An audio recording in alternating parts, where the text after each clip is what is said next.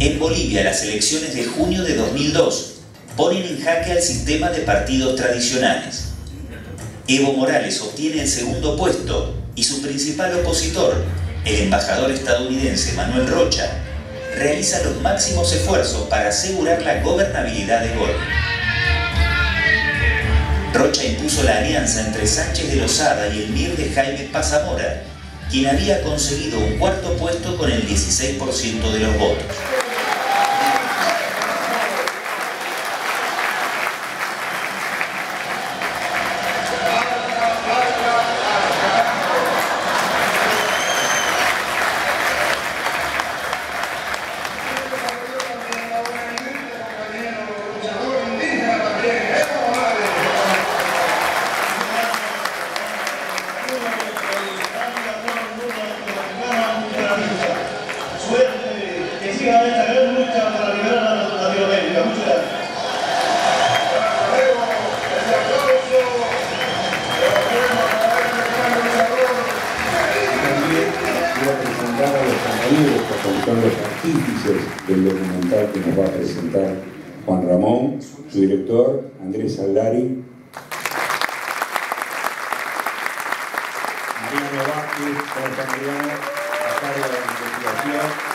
tiene barra acá, tiene barra, tiene barra, y el compañero que lo...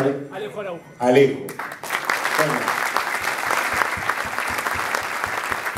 Esta es la barra del Estado Plurinacional de Bolivia, son nuestros amigos. Bienvenidos.